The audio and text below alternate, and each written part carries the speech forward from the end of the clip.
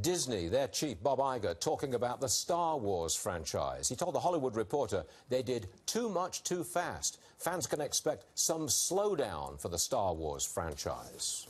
What do you say to that? Well, I mean, they, they are the, the I thought last. it was a big winner. It is, but the last movie, they're seeing this decline. I mean, it's hard to imagine that a movie that did, I think, 350, 400 mm-hmm. million Something like is considered to be a failure. but he is recognizing that this has been a franchise that's been going on and on, and the big issue is creating new content. Yes. A lot of new content It's is quantity coming over online. Yeah, when, when you have Netflix and, and Amazon with new content, th- the the old franchises do get some competition. I think it's I think it's a good idea to scale back, but I don't think it's a good idea to, to eliminate this iconic mm. franchise. You they didn't get good reviews?